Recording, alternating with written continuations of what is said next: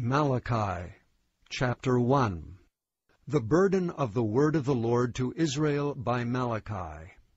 I have loved you, saith the Lord. Yet ye say, Wherein hast thou loved us? Was not Esau Jacob's brother, saith the Lord? Yet I loved Jacob, and hated Esau, and laid his mountains and his heritage waste for the dragons of the wilderness. Whereas Edom saith, we are impoverished, but we will return and build the desolate places. Thus saith the Lord of hosts, They shall build, but I will throw down, and they shall call them the border of wickedness, and the people against whom the Lord hath indignation for ever. And your eyes shall see, and ye shall say, The Lord will be magnified from the border of Israel. A son honoureth his father, and a servant his master. If then I be a father, where is mine honour? And if I be a master, where is my fear, saith the Lord of hosts unto you, O priests that despise my name? And ye say, Wherein have we despised thy name? Ye offer polluted bread upon mine altar, and ye say, Wherein have we polluted thee?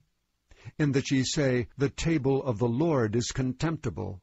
And if ye offer the blind for sacrifice, is it not evil? And if ye offer the lame and sick, is it not evil? Offer it now unto thy governor. Will he be pleased with thee, or accept thy person, saith the Lord of hosts? And now I pray you, beseech God that he will be gracious unto us. This hath been by your means. Will he regard your person, saith the Lord of hosts? Who is there even among you that would shut the doors for naught? Neither do ye kindle fire on mine altar for naught, I have no pleasure in you, saith the Lord of hosts, neither will I accept an offering at your hand. For from the rising of the sun even unto the going down of the same, my name shall be great among the Gentiles. And in every place incense shall be offered unto my name, and a pure offering. For my name shall be great among the heathen, saith the Lord of hosts. But ye have profaned it, in that ye say, The table of the Lord is polluted, and the fruit thereof, even his meat, is contemptible. Ye said also, Behold, what a weariness is it! And ye have snuffed at it, saith the Lord of hosts. And ye brought that which was torn, and the lame, and the sick. Thus ye brought an offering. Should I accept this of your hand, saith the Lord? But cursed be the deceiver which hath in his flock a male, and voweth, and sacrifice unto the Lord a corrupt thing. For I am a great king, saith the Lord of hosts, and my name is dreadful among the heathen. Chapter 2 And now, O ye priests, this commandment is for you. If ye will not hear, and if ye will not lay it to heart to give glory unto my name, saith the Lord of hosts, I will even send a curse upon you, and I will curse your blessings. Yea, I have cursed them already, because ye do not lay it to heart. Behold, I will corrupt your seed and spread dung upon your faces, even the dung of your solemn feasts, and one shall take you away with it. And ye shall know that I have sent this commandment unto you, that my covenant might be with Levi, saith the Lord of hosts. My covenant was with him of life and peace, and I gave them to him for the fear wherewith he feared me, and was afraid before my name. The law of truth was in his mouth, and iniquity was not found in his lips. He walked with me in peace and equity, and did turn away from iniquity. For the priest's lips should keep knowledge, and they should seek the law at his mouth. For he is the messenger of the Lord of hosts. But ye are departed out of the way. Ye have caused many to stumble at the law. Ye have corrupted the covenant of Levi, saith the Lord of hosts. Therefore have I also made you contemptible and base before all the people, according as ye have not kept my ways, but have been partial in the law. Have we not all one Father? Hath not one God created us? Why do we deal treacherously every man against his brother, by profaning the covenant of our fathers? Judah hath dealt treacherously, and an abomination is committed in Israel and in Jerusalem. For Judah hath profaned the holiness of the Lord which he loved, and hath married the daughter of a strange God. The Lord will cut off the man that doeth this, the master and the scholar, out of the tabernacles of Jacob, and him that offereth an offering unto the Lord of hosts. And this have ye done again, covering the altar of the Lord with tears, with weeping, and with crying out, insomuch that he regardeth not the offering any more, or receiveth it with good will at your hand. Yet ye say, Wherefore? Because the Lord hath been witness between thee and the wife of thy youth, against whom thou hast dealt treacherously. Yet is she thy companion, and the wife of thy covenant. And did not he make one? Yet had he the residue of the Spirit. And wherefore one? That he might seek a godly seed. Therefore take heed to your spirit, and let none deal treacherously against the wife of his youth. For the Lord, the God of Israel, saith that he hateth putting away. For one covereth violence with his garment, saith the Lord of hosts. Therefore take heed to your spirit, that ye deal not treacherously. Ye have wearied the Lord with your words. Yet ye say, Wherein have we wearied him? When ye say, Every one that doeth evil is good in the sight of the Lord, and he delighteth in them. Or, Where is the God of judgment? Chapter 3 Behold, I will send my messenger, and he shall prepare the way before me. And the Lord whom ye seek shall suddenly come to his temple, even the messenger of the covenant, whom ye delight in. Behold, he shall come, saith the Lord of hosts. But who may abide the day of his coming? And who shall stand when he appeareth? For he is like a refiner's fire, and like fuller's soap.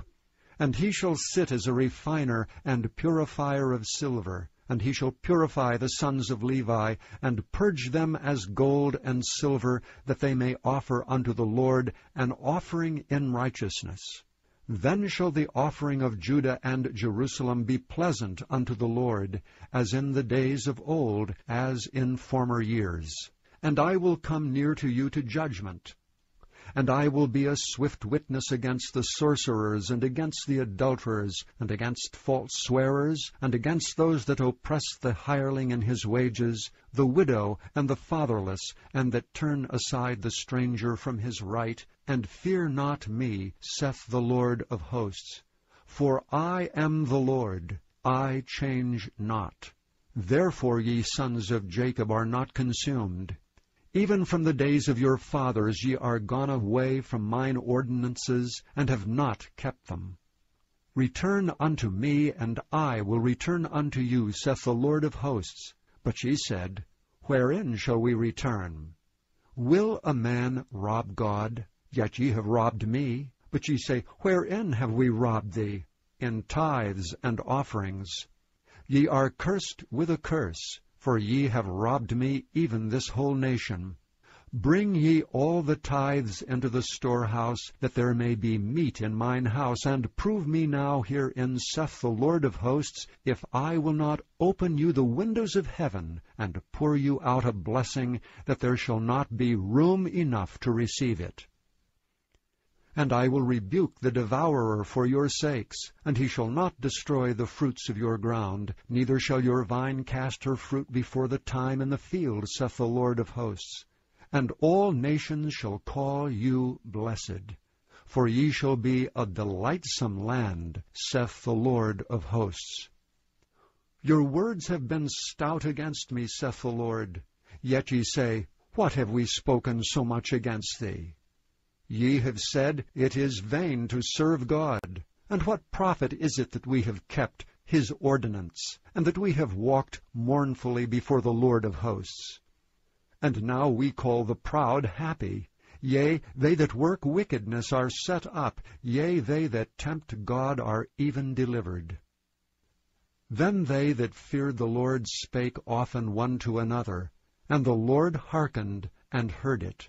And a book of remembrance was written before him for them that feared the Lord, and that thought upon his name. And they shall be mine, saith the Lord of hosts, in that day when I make up my jewels. And I will spare them as a man spareth his own son that serveth him. Then shall ye return and discern between the righteous and the wicked, between him that serveth God and him that serveth him not. Chapter 4 For behold, the day cometh that shall burn as an oven, and all the proud, yea, and all that do wickedly, shall be stubble. And the day that cometh shall burn them up, saith the Lord of hosts, that it shall leave them neither root nor branch. But unto you that fear my name shall the Sun of righteousness arise with healing in his wings. And ye shall go forth and grow up as calves of the stall. And ye shall tread down the wicked, for they shall be ashes under the soles of your feet in the day that I shall do this, saith the Lord of hosts. Remember ye the law of Moses my servant, which I commanded unto him in Horeb for all Israel with the statutes and judgments. Behold, I will send you Elijah the prophet before the coming of the great and dreadful day of the Lord. And he shall turn the heart of the fathers to the children, and the heart of the children to their fathers, lest I come and smite the earth with a curse. The end of the Old Testament.